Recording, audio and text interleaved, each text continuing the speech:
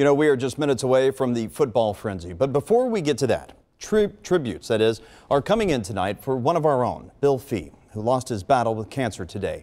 Fee was Channel 9's general manager for many years, guiding the station through a sea of change. He was also a Vietnam veteran who made sure his brothers would never be forgotten. Bill Fee was WCPO's general manager from 1999 to 2010, and what a decade it was. He oversaw the move to digital with the creation of Cincy Now, which later became WCPO.com. He was at the helm when the station moved to its new Mount Adams location in 2004. And when the Newsroom of the Future project began, Fee helped implement the multimedia journalism era. Fee always said running a television station was like changing a tire on a moving car. Channel 9's current GM, Jeff Brogan, agrees. And it totally is. And Bill handled it so well. You know, he's very passionate about our business and making sure we had an impact in the community. Bill Fee's world was changed by the Vietnam War. He volunteered for infantry duty in January of 1967, reached the shores of Vietnam in July, and was wounded and medevaced out in November.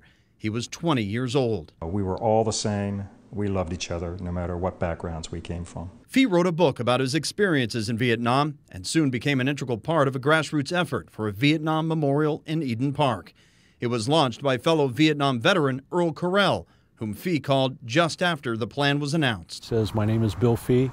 I'm with Channel 9. He says, I want to help you with the fundraising. He says, I'm good at that. And I said, great. Fee, Carell, and former Cincinnati Mayor Tom Brush were the driving forces behind the marketing, fundraising, and construction of the memorial. We worked day and night on this for two and a half years, and over the years, uh, we've become even better friends. Now, Carell thinks a name change is in order. I think it ought to be called the Bill Fee Vietnam Veteran Memorial. That's how I feel about it. Fee's passion for Cincinnati was also evident after the terrorist attacks on September 11, 2001. He personally passed out American flags to drivers on 5th Street. Good morning. And made sure the community knew WCPO backed the red, white, and blue. In an interview for Channel 9's 70th anniversary, Fee called 9 11 a pivotal moment. That, that saying about what is global is local was borne out by the news management at the time of keeping the local area informed of what was going on locally as well as nationally. But Bill Fee's biggest pride was his family his wife Sally, with whom he celebrated his 50th anniversary on August 29th in a surprise gathering.